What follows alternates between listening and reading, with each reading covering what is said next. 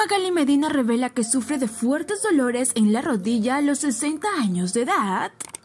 Magali Medina ha brindado una entrevista para el diario El Trome, donde habló sobre la delicada salud de su padre, pues él se encuentra internado en una clínica local por una neumonía.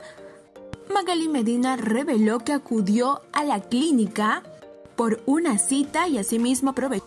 Es donde le preguntan si tenía algún problema de salud y la conductora de ATV reveló lo siguiente. Tengo la rodilla bastante mala, es una condromalacia que ya me produce mucho dolor y me impide ejercitarme como acostumbro. A puertas de cumplir 60 años, Magali Medina ya padece de estos fuertes dolores en las rodillas y lo hizo público para esta exclusiva entrevista. Magali Medina, preocupada por la salud de su padre, el lunes lo internamos porque tiene neumonía. Magali Medina reveló que su padre Luis Medina Carpio está delicado de salud y que el lunes muy temprano lo internaron en una clínica local donde recibe la asistencia de los especialistas.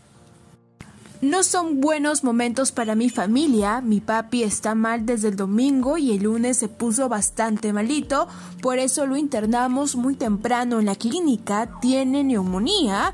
Lo hemos internado para estabilizarlo. Estos días hemos estado muy preocupados. Por eso le dije a mi esposo que no tenía ganas de celebrar hoy. Cuando uno tiene un enfermo en la familia de esa gravedad, estas fechas no pueden significar algo.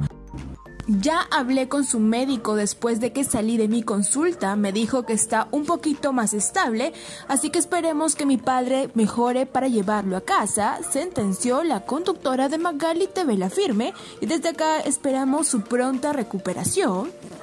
No te olvides de suscribirte al canal W Espectáculos y activar la campanita de notificaciones. Nos vemos en el próximo.